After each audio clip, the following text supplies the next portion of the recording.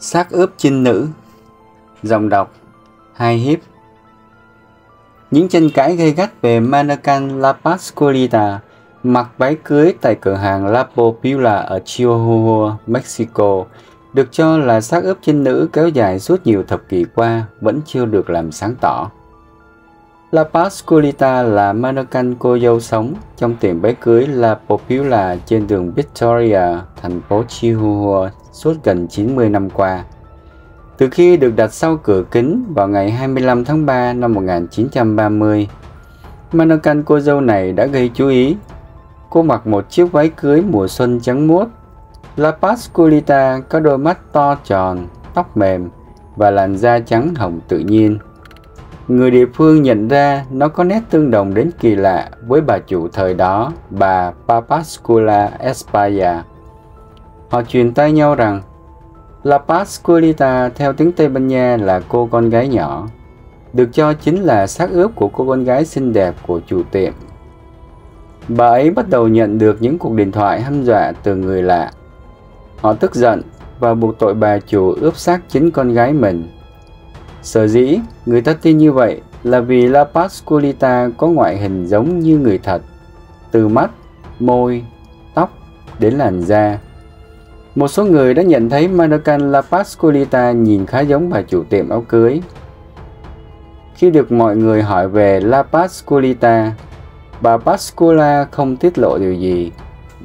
Chính vì vậy, đã có những lời đồn đoán xung quanh mannequin xinh đẹp này, và một trong số đó cho rằng Manokan La Pascolita chính là xác ướp con gái của bà, có tên là Cara. Kara dự định kết hôn với chàng trai làm nghề hàng hải năm 22 tuổi. Trước ngày cưới, Kara bị một con nhện độc cắn và tử vong.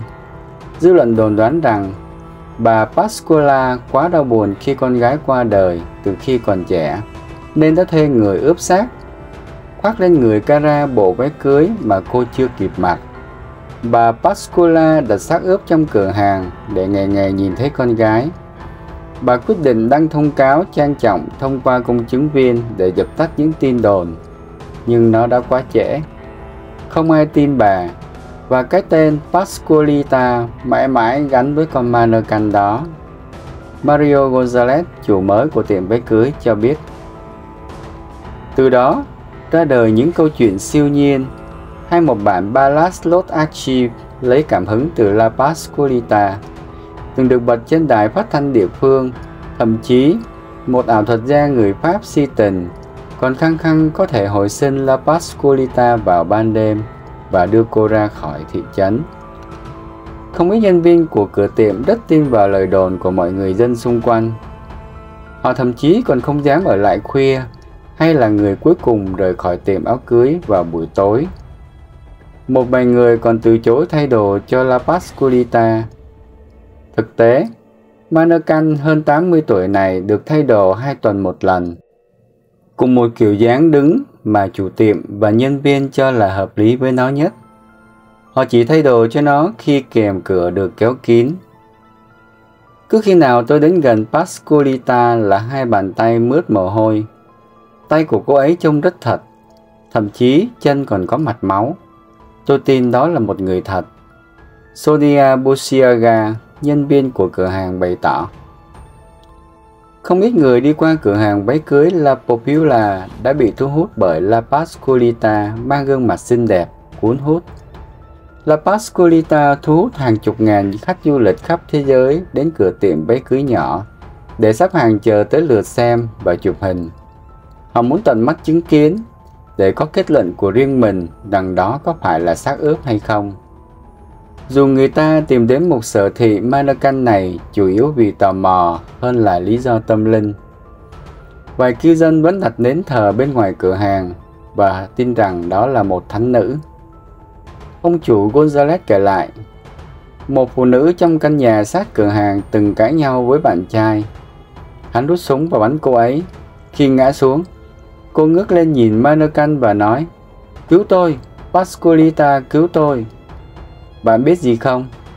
Thế là cô ấy qua khỏi. Ông cho hay.